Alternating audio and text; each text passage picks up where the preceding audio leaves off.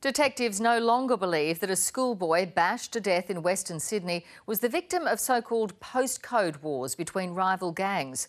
Seven people are behind bars over the alleged murder of Jason Galleghan. The attack was filmed and put on social media.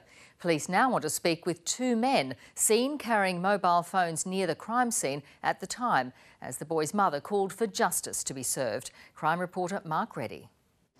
In a mere moment, Rachel Galleghan's life changed forever, robbed of her only son, 16 year old Jason Galleghan. Jason was such a kind person with such a happy spirit. He was loving and generous and helpful to his sisters and to his family and friends. It was a brutal attack filmed and put on social media. These two men were captured on CCTV nearby. Both are carrying mobile phones, and now police have questions for them what they've seen, what they've heard, um, and what they may have been doing around that time. It began over a pair of headphones and quickly turned ugly. 19 year old Kayla Dawson is accused of luring Jason Galleghan to her Doonside home two months ago. It's apparent that um, that was for the purposes of um, actually assaulting him.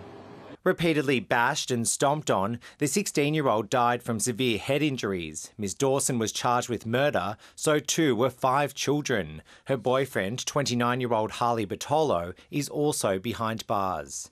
Detectives today hosed down speculation the murder could be linked to the so called postcode wars between rival youth gangs across Sydney. But they expressed grave concerns that such a minor dispute could result in the worst possible outcome. It is just so utterly devastating and heartbreaking that his future was taken away from him far too soon. A sentiment shared by complete strangers and those who knew Jason. We have all lost the biggest part of us that can never be replaced.